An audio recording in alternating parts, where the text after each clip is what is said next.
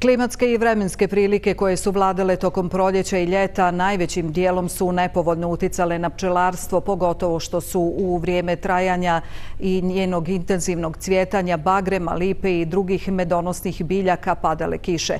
Posljedice su ostavile i tropske vreline i nepogode koje su bile ovoga ljeta. Uprkos tome, pčelari se pripremaju da svoje društva pripreme za zimu. Bile su vreline, bile su nevolje, klimatske, bile su vremenske nepogode. Bilo je svega onoga što se najmanje očekivalo, ali dogodilo se. Kako je se sve to odrazilo na pčele? Pa pčele su kao i ljudi jako osjetljive na, na sve vremenske promjene. Međutim, te neke trenutne vremenske promjene neće toliko uticati na, na pčelinja društva, na pčelinje zajednice, koliko ovako neke a, dugoročne promjene koji, s kojima se suočavamo već neko vrijeme, taj konstantni porast temperature, već polako utiče na onaj tempo pčelinjih paša na koji smo navikli.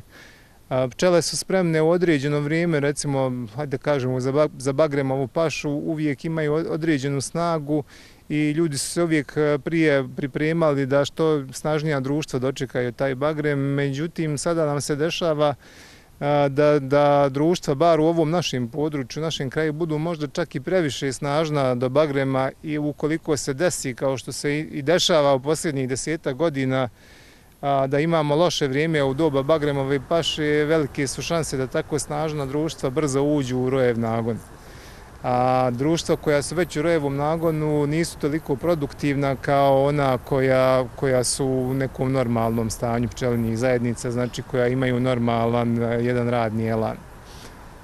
Evo došao je i septembar. Nova pčelarska godina počela je 1. augusta. Vaša ocena? Pa ja mogu da kažem da a, ova pčelarska godina, neću da, da kažem da je bila a, totalno loša, neću da idem tako daleko i da budem negativan.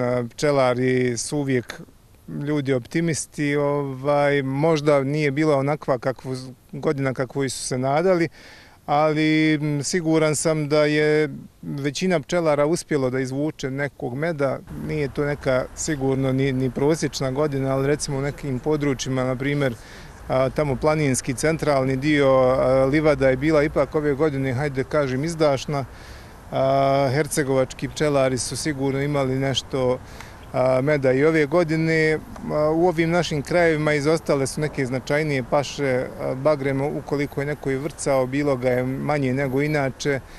A lipa isto tako, ovo područje nije toliko popularno za, za pašu lipe.